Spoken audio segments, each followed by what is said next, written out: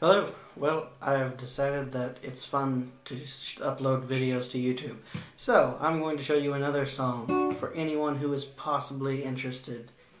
Uh, Rikki Don't Lose That Number by Steely Dan. Uh, I'll teach the whole song except for the guitar solo. I'll show the chords behind it.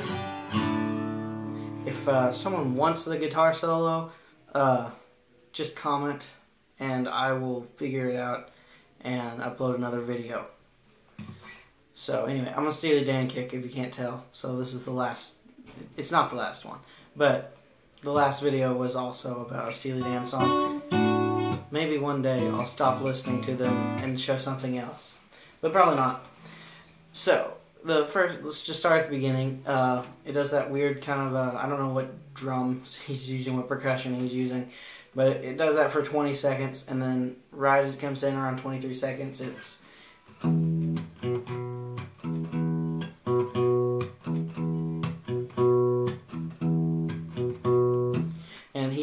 over what would actually be an E9 chord. Uh, but basically, it's just you want the bass line, and it's a bass line and uh, bass line on the piano holding it. It's Donald Fagen holding it. So it's just you're gonna hit your open low E, and then go down to the uh, A string on the second fret, and it's.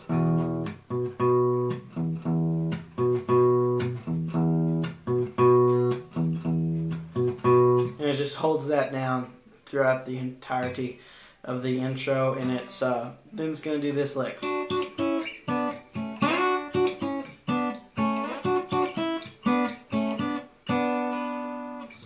what that is, is you're going to go to the 7th fret, it just double stops the whole way down, 7th fret on your G string and your B string, okay? And just hit, just plug it twice. And then you're going to slide down to the sixth fret on the on the G string and the fifth fret on the B string.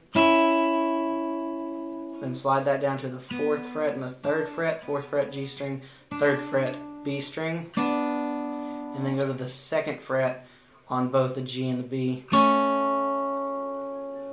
And then slide it back up so it's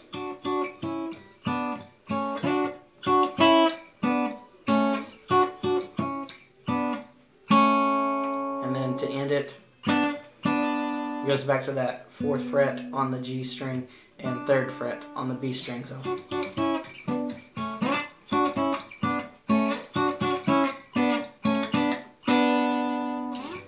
So for the verse, it's pretty simple. You got a, a D sus2, which is a D plain old D chord, but you're leaving your E string open. And then you have an A sus2, which is a regular A chord, but lift, but basically leave the B string open. And then you're to go to an E major.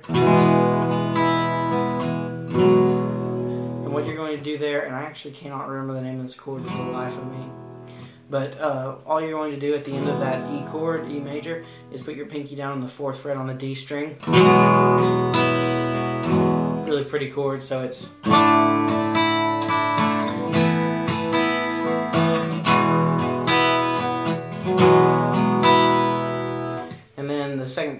uh, the second part of the verse it's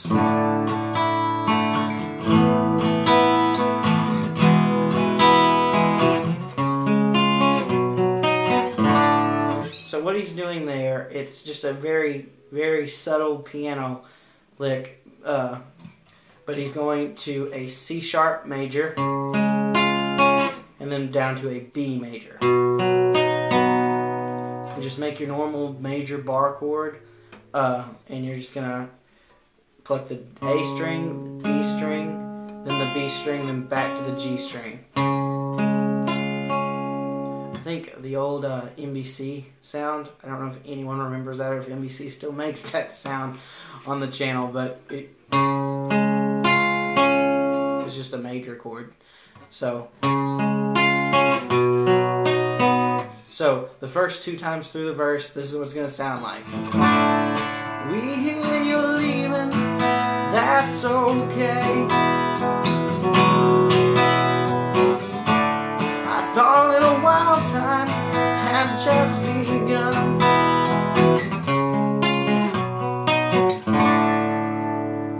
Hmm. So then it does this again.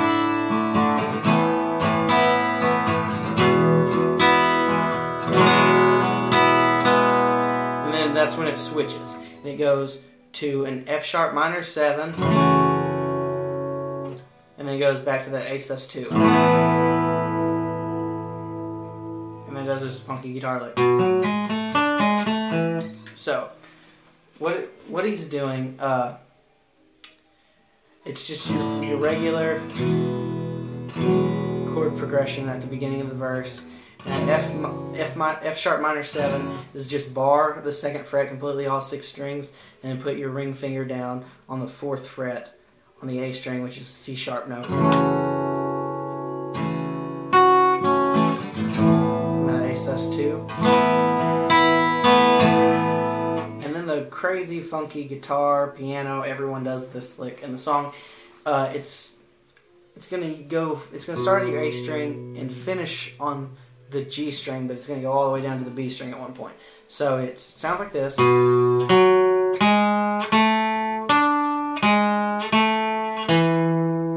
So that's slow motion, but you have the second fret B string, fourth fret D string. Sorry, explaining it slow, I have to play it again. And then you have the first fret on the G string, second fret on the G string, third fret on the B string, first fret on the G string, second fret on the G string, and then the second fret on the D string. So played slowly.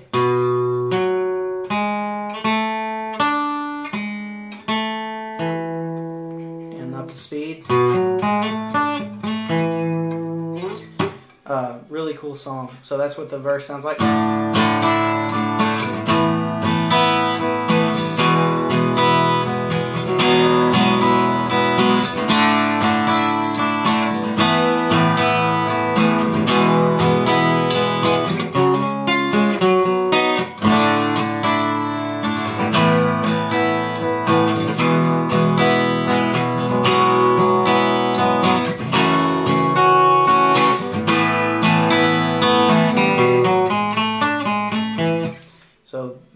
Verses are going to do that.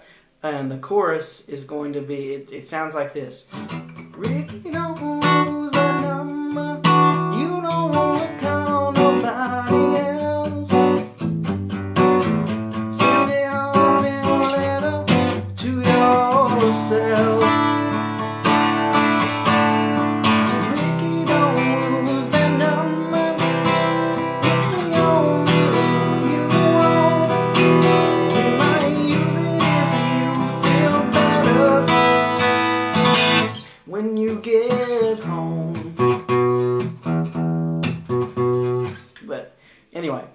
chords for that, uh, the first thing is an E9, but he's actually uh, taking out what would be the G sharp or A flat note, which would be on the uh, sixth fret of the D string. So you just don't. He's taking it out. It's not in there. Uh, basically, all you have to know is seventh fret E, the seventh fret A string, which is E note, and then uh, you have the seventh fret on the G string and seventh fret on the B string, and the rest are muted. And you could you could ride the E string though. That's what I do. And then uh, it's gonna go to a G major seven. Which is a third fret low E, uh, fourth fret on the D string, and you're gonna mute the A string. Uh, then you have the fourth fret on the G string, and the third fret on the B string.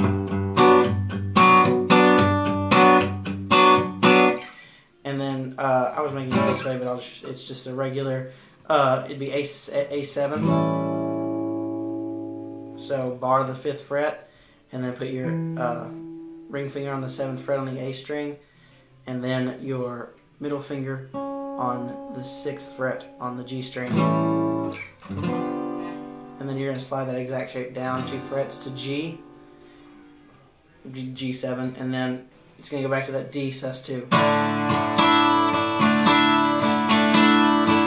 And then it's going to go C, E minor, C, and then really quick, D sus2, A sus2. Beginning. So uh, anyway, the the chords that are behind the guitar solo are D sus2, A sus2, E. adding that D sus2, A sus2, and then goes to G. Holds that out for a couple measures. Then it's going to go to F major 7. And then it's going to go to G6 which is a so ring finger on the fifth fret of the A string, pinky on the fifth fret of the D string, then you have your middle finger on the fourth fret of the G string, your index finger on the third fret of the B string, and then an open E. Back to F major 7, and then back to E. A sus2, E major. That's the that's the entire guitar solo, and then it's gonna go into the bridge, and it's like, so it's gonna be an A major seven. So think of that G major seven shape from earlier. Move it to A. A major seven, then a flat minor seven, which is index finger on an A flat slash G sharp and then you have uh, your middle finger would be on the fourth fret on the D string, your ring finger would be on the fourth fret on the G, and then your pinky fourth fret on the B. Back to A major 7. And uh, that would be a C sharp minor 7. So you could do this. So think our uh, think of the the sevens we made during the uh, during the chorus and move them down to the fourth fret on the A string and bar from there and then so that that's that and then it goes back to basically what would be the end of the verse that F F sharp minor 7 A sus2 but anyway so the bridge sounds like this. You tell yourself you're not my kind